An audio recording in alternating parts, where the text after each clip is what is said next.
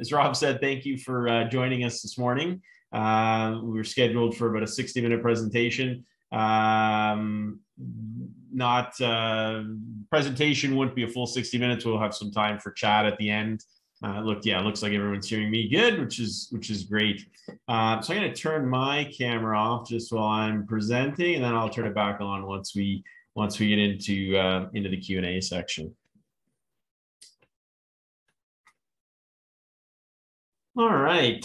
So as Rob mentioned, there'll be a recording of, of uh, this presentation available. You can certainly check it out uh, or let uh, let anyone that you think might be interested in it uh, know that it will be available. Uh, and Rob will send information out on that uh, once the once the session is done this morning. So kind of a quick overview of what we're going to look at today. Uh, going to start by just having a quick overview of musculoskeletal injuries to talk about some common concerns we hear as it relates to driving and operating heavy equipment.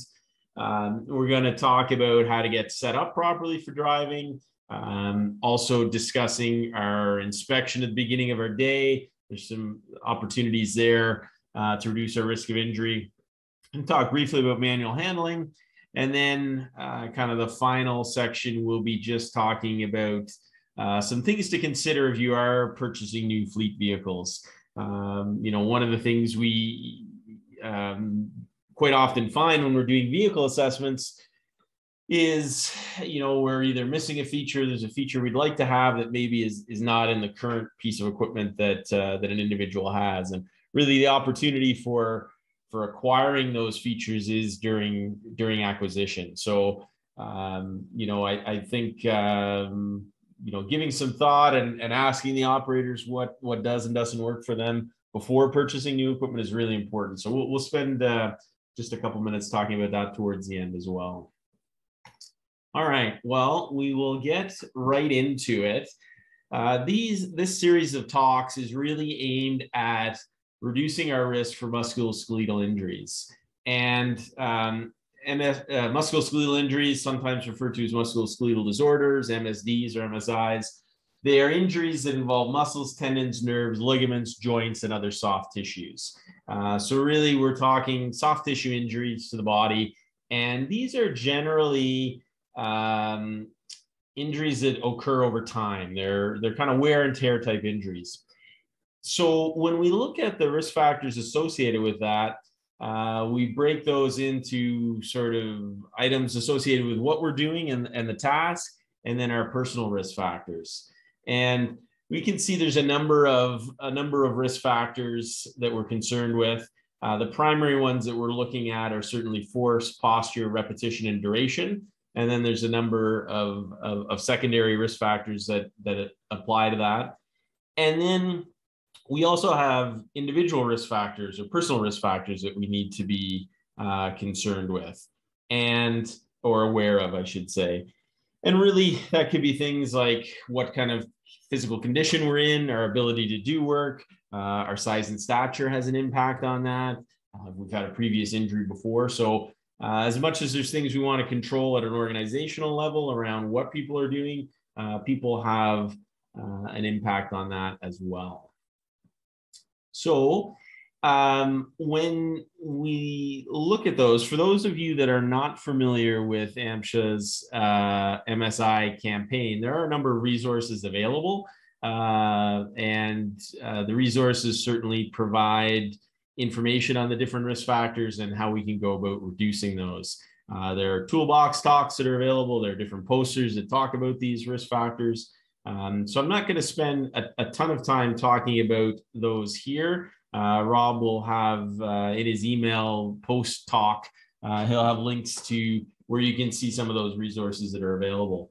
Um, but as I said, with each of these risk factors, it's looking at what the risk factor is, what really we're looking to do in terms of uh, reducing or eliminating that as a concern.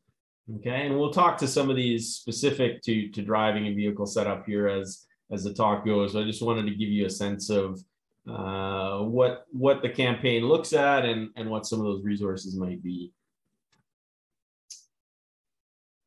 All right, and as we get into uh, summer again, hopefully, uh, you know, temperature, hopefully warm temperatures, not cool temperatures, are going to be uh, uh, something we want to be aware of as we get into uh, the warmer weather. Uh, whether we're whether we're in a vehicle or outside doing work, more likely, um, where where warm temperatures become of concern as it relates to musculoskeletal injuries is um, the risk of dehydration, and as we if we become dehydrated uh, our muscle function is not as good. Uh, it doesn't work the way it's intended to, and we can, you know, have other health issues that come come along with that. So um, certainly something to be aware of as we get into the warmer months.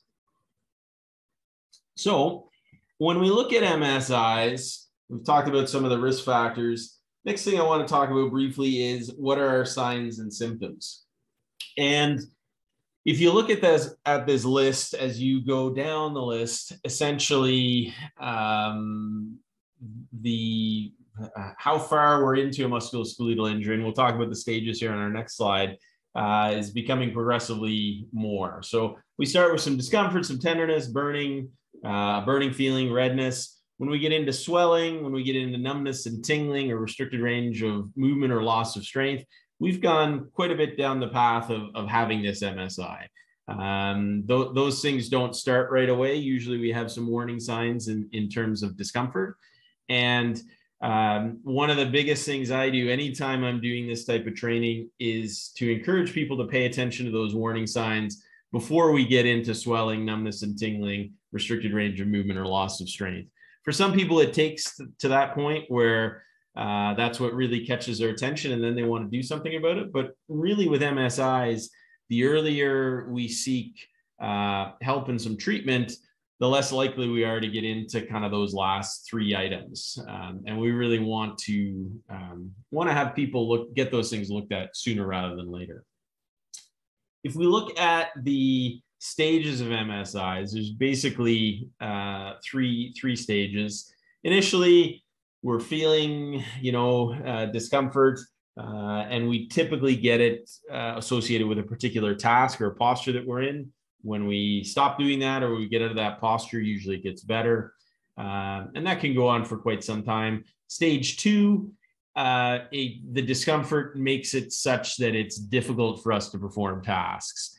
And the onset of symptoms is quicker, and the symptoms going away is slower. So it's it's becoming kind of more and more of our time. And then the, the third stage is symptoms are always there, regardless of what we're doing. Uh, it has an impact on our sleep, our activities at home, and the recovery is not as not as good, and it could certainly take a lot longer. So th- this is kind of this slide really illustrates the importance of getting those things looked at uh, sooner rather than later, so we don't get into stage two and stage three.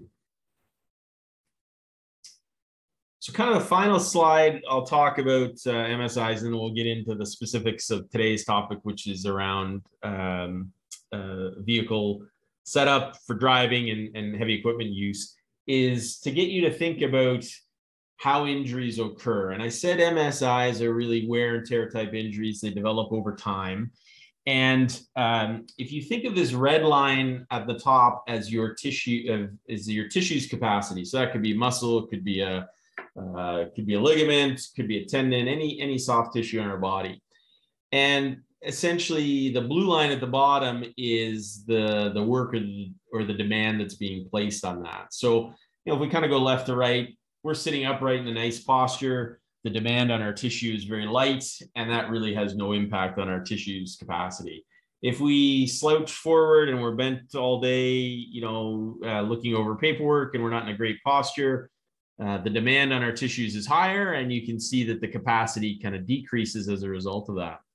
If we get into some whole body work, whether that's sweeping or raking or doing yard work, like we we might do this time of year, you can see the the demand kind of goes up and down, but it's it's it's certainly higher because uh, we've got some whole body movement, and you can see that the tissue's capacity decreases there much quicker because we're putting putting higher demands on it.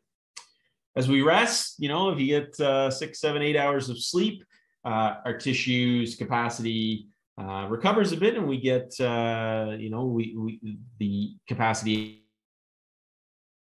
basically at a certain point if your the demand that you're putting on the tissue um, will at a certain point meet the capacity. And when those two lines meet, we have an injury. So how that line looks varies depending on the individual, varies on what we're doing, and varies on the tissue itself. But you get the idea is, you know, if you put more demand and you don't give it enough rest, at a certain point we have have an injury. And um, you know, demands or activities that are more physical that put us in a more non-neutral posture, uh, put greater demand on the tissue's capacity and and you know increase the risk of those two lines meeting. Um, so that's just kind of to get you thinking about what what increases our risk of a musculoskeletal injury and kind of what the mechanism of that looks like at uh, at sort of a high level you know, quickly, if we look at some stats from from AMHSA members here, uh, we look at the percentage of claims by occupational category. Um, you know, if you look at the groups that are larger in terms of uh, claims, uh, the trades, police, public public transit, fire, office workers, right? So the really big groups are ones that are doing what you would consider to be more physically demanding jobs. Um, and then, you know, you look at public transit. So that's a group where you would have lots of lots of folks driving, right? And we we sometimes think of of driving or sitting in an office as not being particularly physical in nature, but there are still demands associated with sitting. And obviously, driving has other demands beyond just sitting. Um, so, you know, what we're going to be talking about today is is certainly important. And there are injuries that occur to folks um, while they are driving. Having said that, one trend I often see is um, often the injuries that are reported that are associated with somebody who might be operating a piece of uh, heavy equipment or driving, it doesn't always get tagged to that for the to the activity of driving or operating that piece of equipment. And part of that is you know, if you think of some of the tasks that are associated with those, so that could be securing loads, right? Loading and unloading cargo. And if we've been seated for a long period of time, that uh, increases our risk. Uh, walking to and from the vehicle, entering and exiting the vehicle. So we, we often will see injuries that are associated with this. It might be classified as a slip, trip, or fall.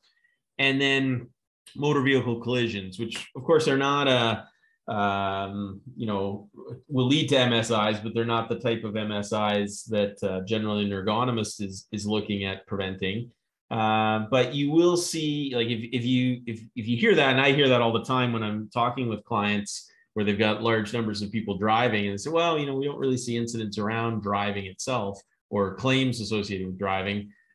Think of take a look at what some of those other associated tasks are and um, you know the the the number associated with that activity is likely to increase. Okay, so what are some of the common concerns that we hear? Probably the biggest thing in terms of complaints we get from people that are that are that are in a vehicle or, or heavy equipment is uh, back concerns, and that is typically associated with extended sitting.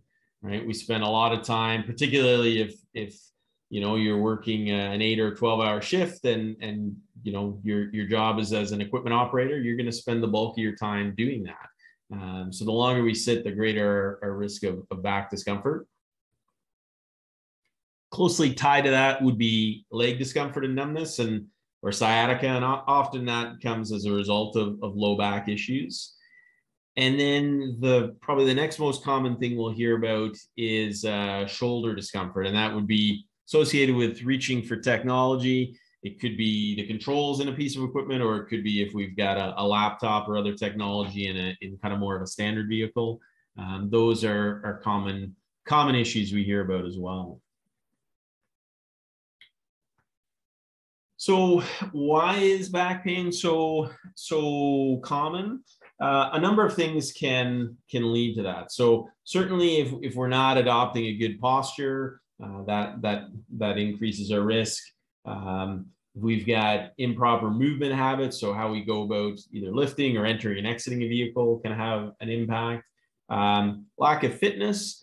Uh, I'm not saying we all need to be, you know, uh, athletes to, to prevent back injuries, but if we're carrying more weight, uh, that does increase our, our risk of, of having a back issue. And then uh, the final one I would add in there is lack of adequate, adequate recovery between bouts of physical stress. So, you know, if you think back to the, the diagram I had with the blue line and the red line meeting, if we do heavier work, we need more time for our tissues to recover. And, you know, not uncommon, you know, if you think of activities where, where people run into issues, uh, snow shoveling. So most of us don't shovel snow for a, a full-time occupation, but when we get a heavy snowfall, we want to get our driveway cleared and, you know, maybe we, uh, we injure ourselves because we're doing more than we're used to doing and we don't give ourselves enough recovery. Uh, or we're doing yard work in the spring where we haven't been doing stuff and we, you know, we want to get a bunch of stuff done at once and try and power through it and don't give ourselves enough recovery. So same thing can happen obviously in an occupational setting as well. If we've got a, an activity that's a little heavier uh, than we're used to, and and and we do that. So so back back issues are are common um, in lots of settings, whether there's heavy physical labor or um, if we are uh, simply having extended sitting. Uh, so when we look at the stuff today, uh, one of the things I like to highlight is you know, there's certain things we have control over and certain things we have less control over, but we all still have choices in terms of how we, um, you know, choose to go about our work when we take breaks, making sure we take adequate breaks, getting some movement uh, to break up our day, all those kinds of things. So we need to need to keep that in mind and and do what's right for us to minimize our risk. So we look at low risk postures, and that's really posture is one of our driving factors. Uh, the more neutral the posture that we can keep, that's going to reduce our risk of injury. Um, the closer to a, a, neutral or midpoint of, uh, of any posture with our joints puts less stress on the ligaments and um, on the muscles and tendons as well. And um, also, when we're in the mid range of our uh, joint postures, we have the greatest strength so we're going to have, um, we're going to fatigue less quickly. Whereas if we're at an extreme angle, uh, you know, our arms are fully extended, um, that sort of thing, we can't generate as much force. So we're working a lot harder to generate the same amount of force. So we want to, we want to really focus on getting ourselves as close to neutral as possible anytime we're, we're doing an activity. And that's whether we're actually uh, physically lifting something or or you know simply sitting in a piece of equipment. So what does a low risk posture look like? Our head should be balanced over our shoulders. We don't want to be, be tipped forward. Uh, we want to have a neutral spine posture. What I mean by that is our, our torso is fairly upright and we've got our lumbar curve or our lower back supported. We want our shoulders relaxed and our arms at the side of our body. So you know, kind of the guideline I give people is we want to basically have our elbows underneath our shoulders. If our elbows are in front of our body, uh, you know, the muscles in our shoulders and upper back are, are, are, are working harder. We want to have our elbows at about 90 degrees. As I said, when we're in the mid range uh, of, of any uh, joint posture, we, we can generate the greatest force. Um, we want to have an underhand or sideways grip where we can. Uh, it's more work for us to try and grip something overhand. So what I mean by overhand is our hand is on, on top of whatever we're, we're trying to move. Want to make sure we're using two hands whenever we can, particularly for heavier items. Want to keep our wrists straight. And we want to have our feet in a posture that provides lots of stability. So at least at shoulder width. So uh, we're able to, to, to be maintain a more upright, uh, stable posture.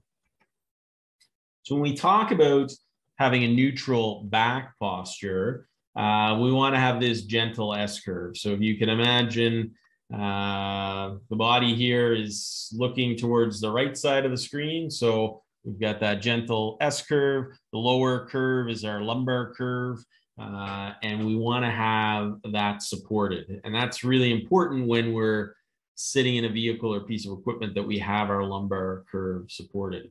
So when we talk about sitting uh, or lifting with a straight back, it's a little bit of a misnomer in that when our torso is straight, internally we've got this S curve to our back, and that's really uh, what we want to see in terms of a, a neutral posture.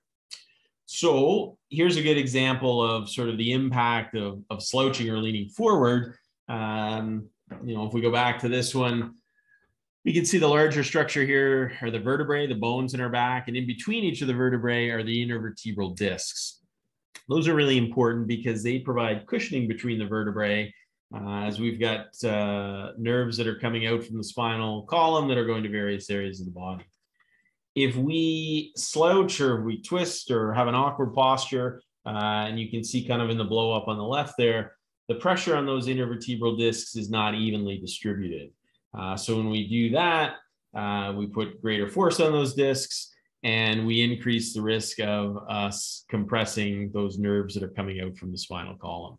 Uh, so picture on the right, you can see we've combined kind of a, you know, a non-neutral posture. We're slouched forward. We combine that with some whole body vibration, and all of a sudden, we, you know, we we increase our risk of um, of, of having some back issues. So when we look at setup, and these principles would apply to, to any type of, of vehicle that we're in, there's a number of a number of things that we want to uh, look at. So traditional vehicle, um, first thing we want to look at is our distance of the seat, right?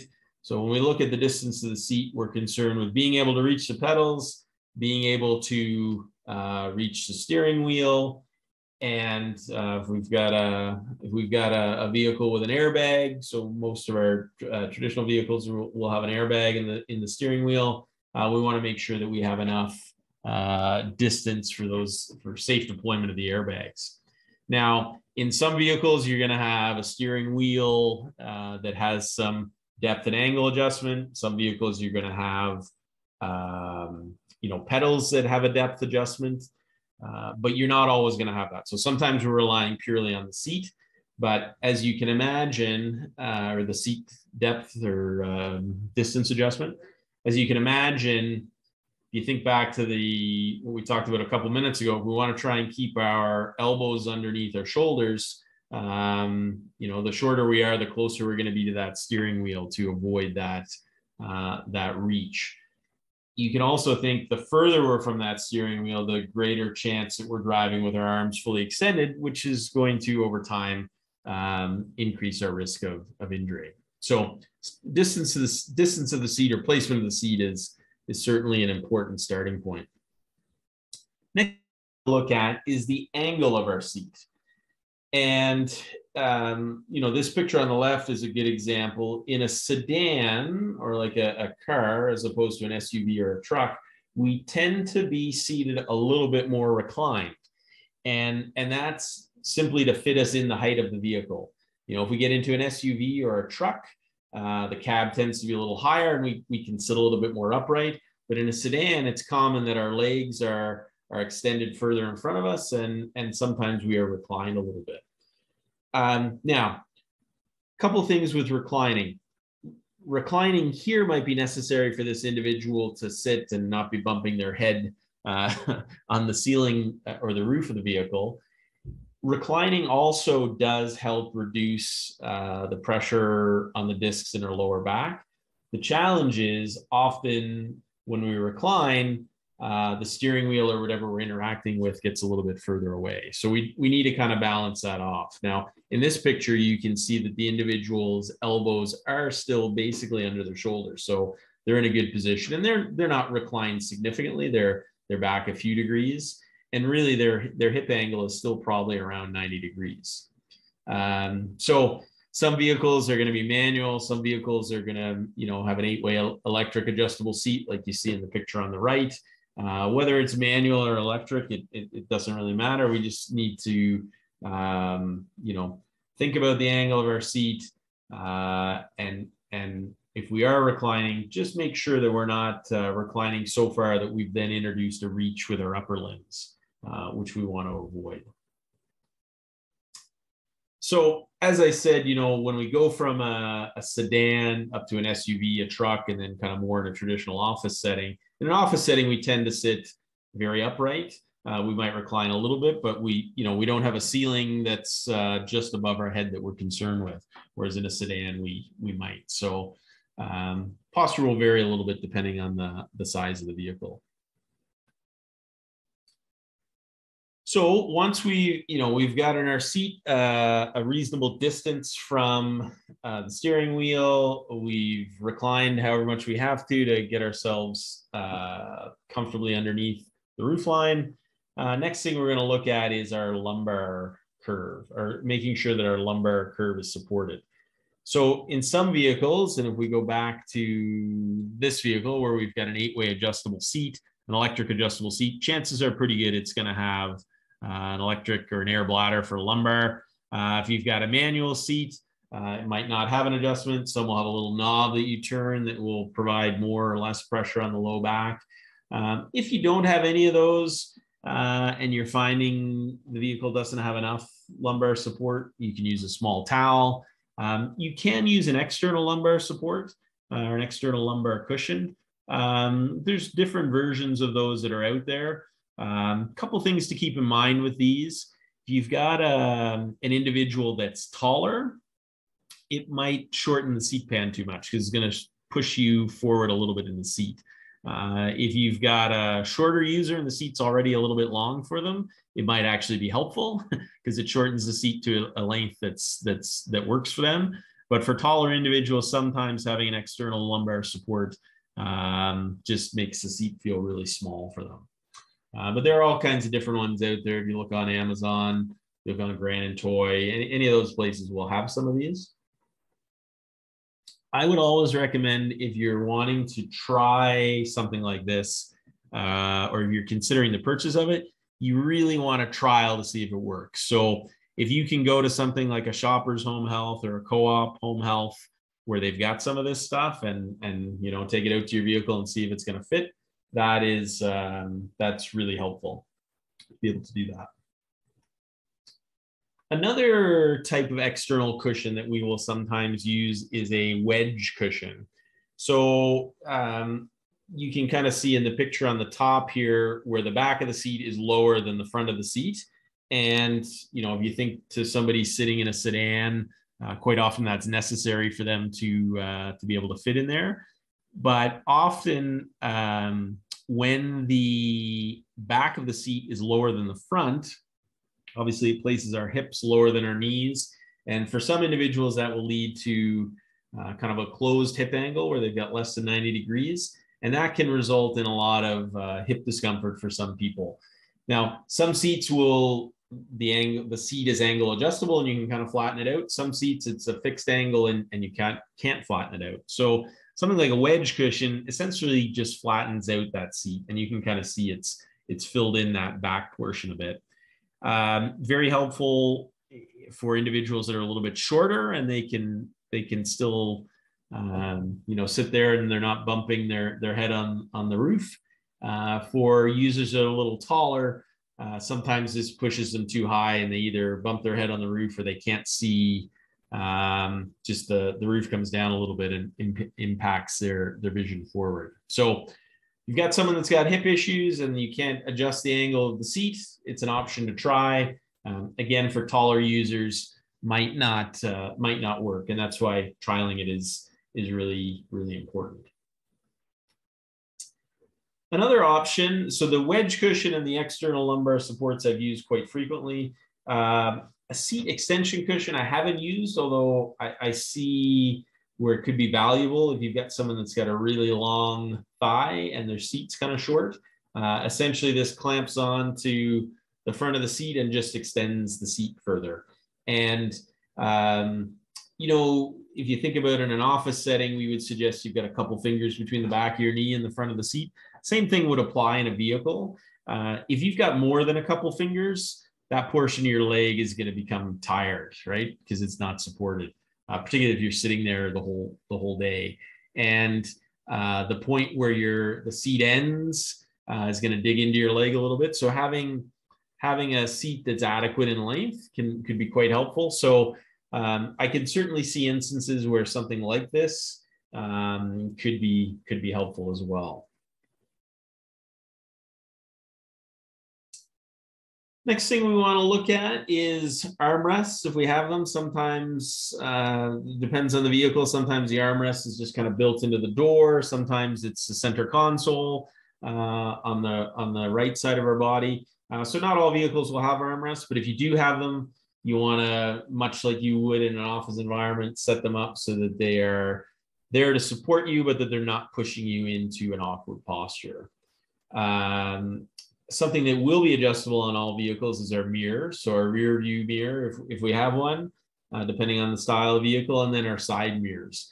And this is a good example of when some when we're when we've got shared uh, fleet vehicles and we're not driving the same vehicle every day. This would be part of our vehicle setup, getting our seat set, getting our mirror set, because uh, we use our mirrors quite a bit. And if they're set uh, in such a way that we're bending further forward than we need to, that's going to put us into an awkward posture uh, more frequently than we need to when we could simply adjust the mirrors to allow us to, to check those uh, in a more neutral posture. It's an easy, doesn't take long to do. But over the number of times that we check our mirrors during the day, really important that we do that.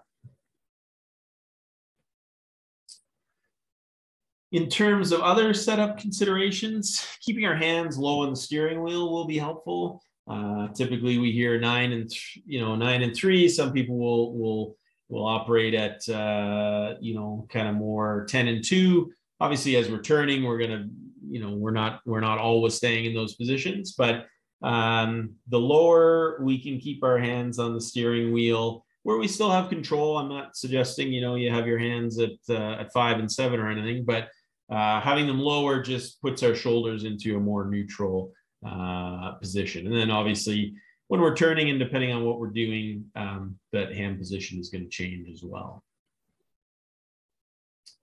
All right, so some examples of uh, the impact of posture and the things that we can do to try and um, get ourselves into a better posture.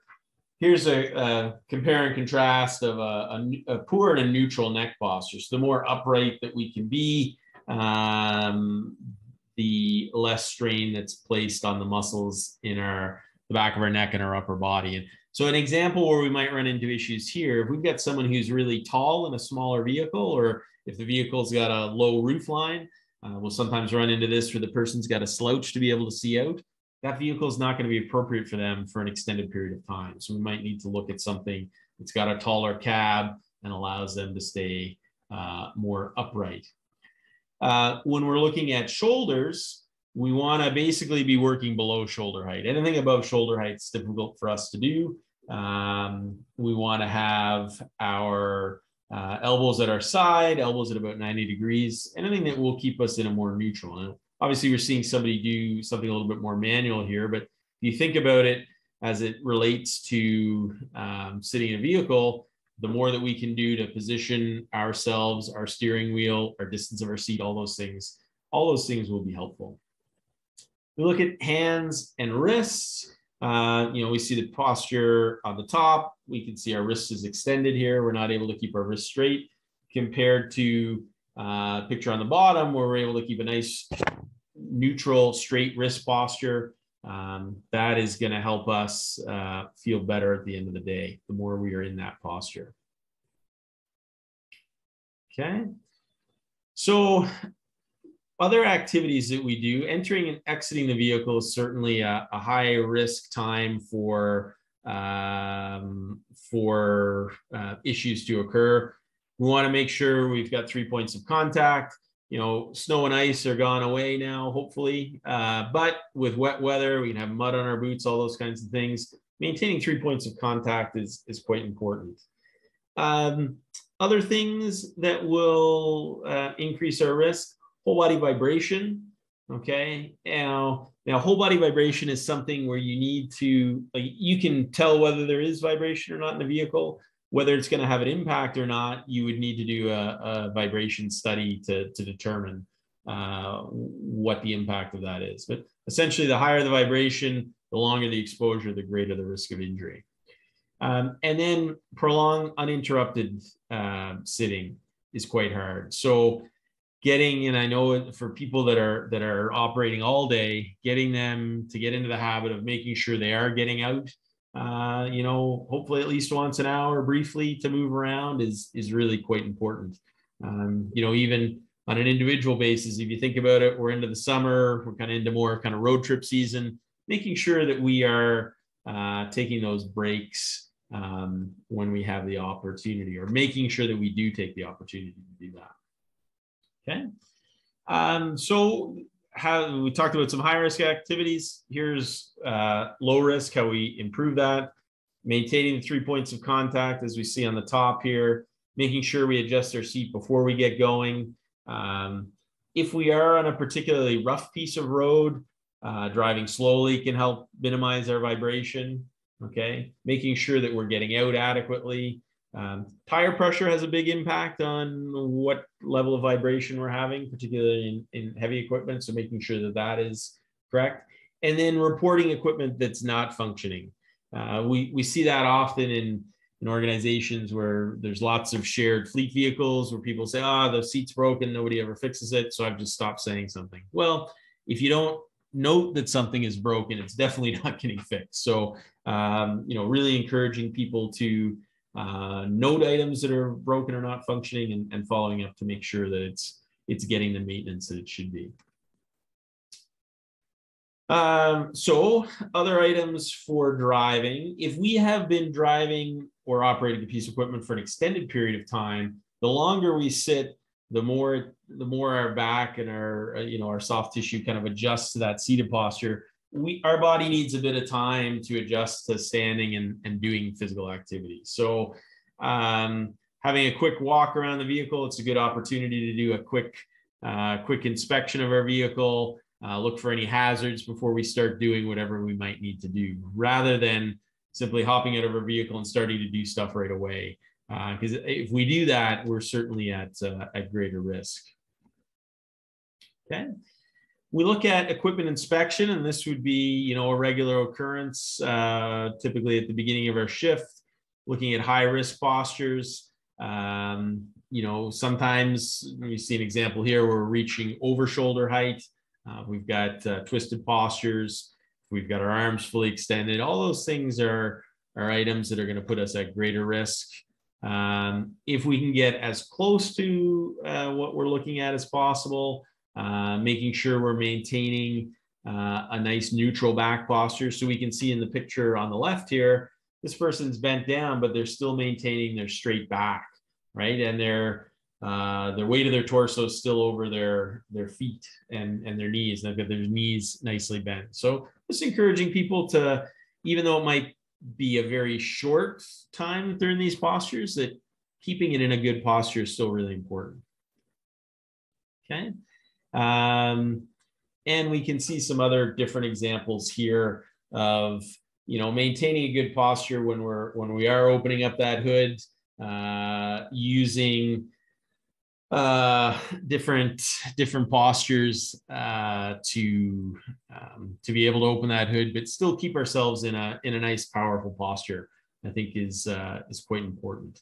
And you know, considering our stature for uh, if we're really short or really tall, how we attack this might be different, and and encouraging um, you know people to to adopt a posture that works well for the the stature that they have.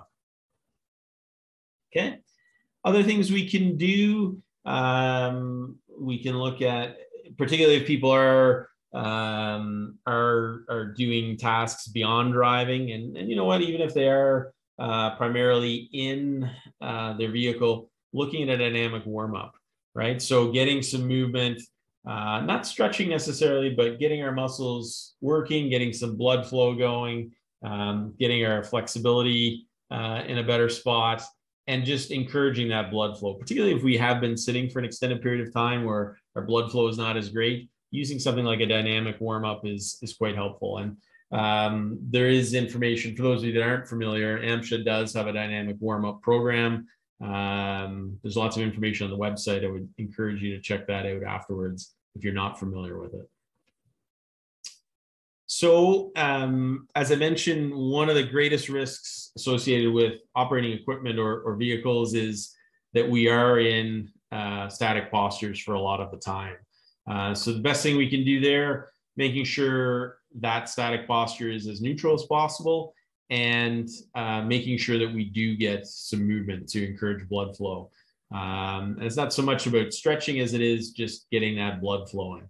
Um, you know, if you're sitting, if you've been sitting here listening to this or standing watching the webinar, unless you're moving around, there's nothing that encourages blood flow. And uh, if we don't have that blood flow, um, our muscles don't get the oxygen and nutrients that they need, and the waste products don't get taken away. So important that we um, that we encourage that. Um, just wanted to talk about a couple manual handling things here before we wrap up, because um, often what happens um, is when we uh, when we do go to lift something, or if we you know if we are doing physical activity after we've been off operating a piece of equipment, um, is as I said, if, we, have been static for a long period of time, our, our risk of injury is is increased. One of the things I always like to highlight when we talk about um, about any manual handling, and this would even apply to a lot of our inspection tasks, particularly when we're looking at low level uh, things. So we're looking at our tires, looking at our undercarriage, that kind of stuff. So we need to remember that when we go to lift something, whether we're lifting it or not, uh, when we bend forward, we are also lifting the weight of our torso, right? So uh, even if our hands are empty, and we saw it in some of those postures previously, um, you know, we are still lifting the weight of our torso when when we bend over and we're doing kind of low level work. So important to to keep that weight as much as we can centered and back and upright. And um, make sure that even if we aren't uh, lifting as such people are thinking of but i but i am still lifting. My trunk is still doing work uh, when i am uh, adopting some of those postures. Um, so here again uh, compare and contrast. Picture on the left we've got that gentle s curve. Uh, picture on the right we are um, you know, we've got our back rounded out and we're not in a good uh, position. So we want to we want to avoid that. Other things when it comes to manual handling, we want to avoid twisting. We saw that, uh, you know, a couple times in in some of the pictures when people were doing their equipment inspection, where they're twisted to try and uh, get in to see something, or they just aren't aren't making the effort to turn their feet always want to squarely face what we're what we're looking at and what we're evaluating.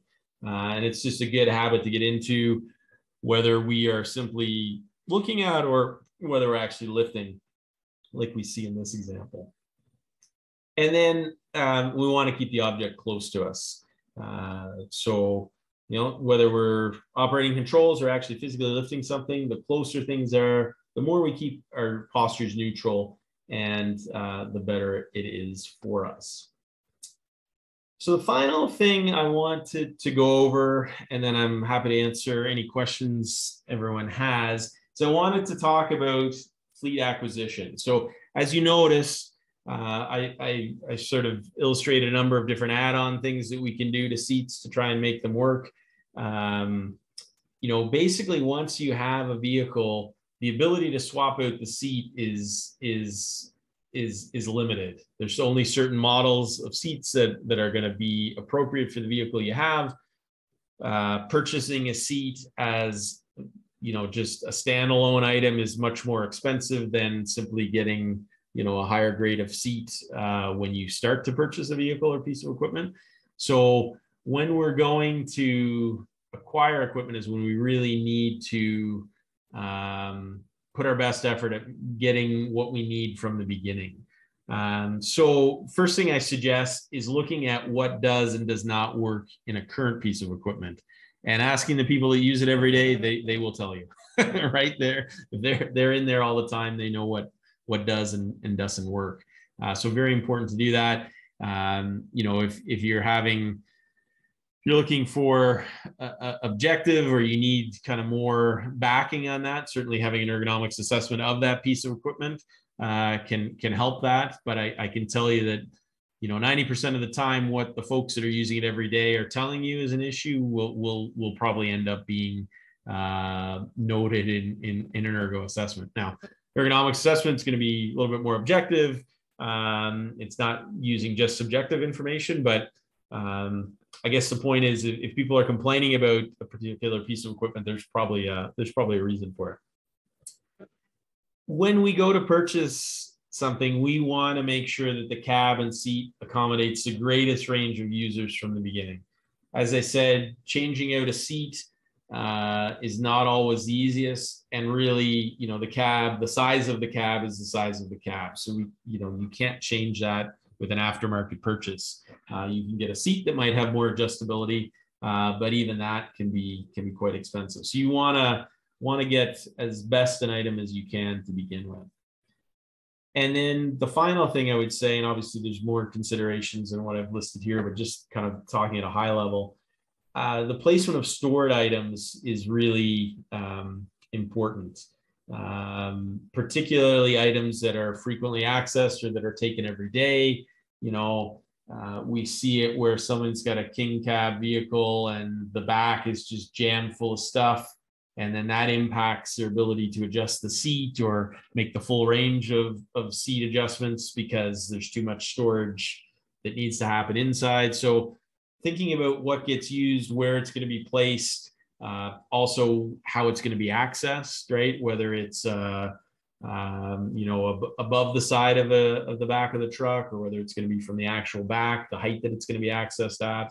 Um, all those things play into um, sort of that discussion around acquisition. So you want to you want to look at what you have and then make plans for what you're going to get. And and if you need some professional advice i would i would encourage you to seek that. But um, and one of the challenges with acquisition of anything whether it's a vehicle or a, an office chair or a new um, you know building there's always competing constraints right or competing interests uh, number one is usually cost. Uh, and then we look at all the other performance metrics that you might have. So the ergonomics is one of many things that, that you want to consider, but it's one of the things that's kind of hardest to change after you purchase it. Um, so I really, really encourage you to, to, to look into that early, early on when you're acquiring equipment. Uh, so a little bit of information about us there. And, and again, Rob will, will share that uh, by email as well. Uh, but I wanted to stop there and uh, answer any questions you might have.